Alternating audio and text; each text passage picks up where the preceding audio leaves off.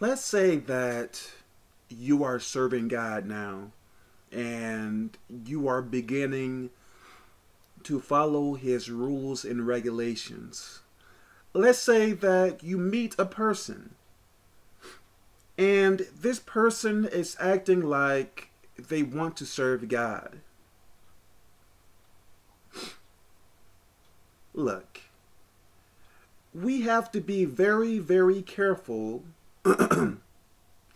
of the people that we speak to because everyone that is asking you help for God is not really looking for help for God. Listen, we have to know that there are people who works for demons. They work for demons. And usually when it comes down to witches and people of the occult, what I have been learning, I don't know if it is the case for every single one, but many people or some people who become a witch or whatever else, usually they have been abused in some type of way when when they were a kid, when they were very young. Almost every single case that I have heard of, even with people that I have spoke to, when it comes down to a witch, they have been abused by their mother, father, cousin, uncle, whomever else. And they blame God for it so they fight against God. Hey, if there was a God, they would have saved me from this mess. Pretty much, that is what they say in so many words. We have to know that there are people who work for demons. So when a person is asking you for your help, be cautious, listen and watch what they are saying and doing. If you begin to see that they are not really interested in serving God or anything like that, but they are trying to come at you in a different way, then you know what their intentions are. They are not of God. And if it is not of God, you want to be careful.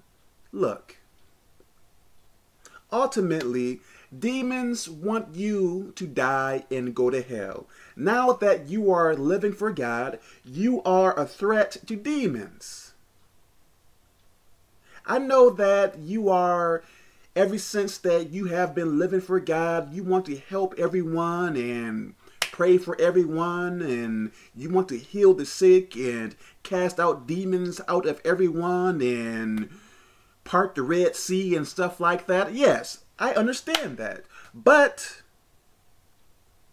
everyone can't be helped because everyone does not want to serve God. If a person comes to me and say, "Hey Kevin, tell me what I have to do to serve God." Then I tell that person what to do. And if they are showing me interest, like they want to read the Bible and pray and do this and do that, hey, I am going to continue to help that person. But in some cases, you may meet people that say that they want your help, but they start speaking crazy things to you. Like, not interested in the things of God, but they want to speak crazy things to you about demons and and all this other stuff. You have to be careful. I pray this makes sense. Everyone can't be helped. I know at first, at one time, I wanted to help as many people as possible. Well, I still do, but I am not as hyper about it as I was before, then the more people I spoke to, I started to learn some people don't want to be helped. They just want, I have no idea. They just want to tell you about their problems and stay in the rut that they are in. They don't want to change. And some want to pull you into sin. I had some of those that tried to do that to me. But a good thing that I seek God just about every single day. No. Well, now I do, you know, before. Well, I pretty much always did to a certain extent. I guess you can say. So, I pray that this makes sense. Just because someone wants your help does not mean that they are looking for your help. Perhaps they are looking for something else.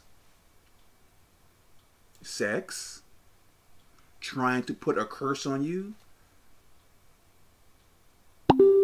so many other things. So I pray that this makes sense. Don't be silly. God bless.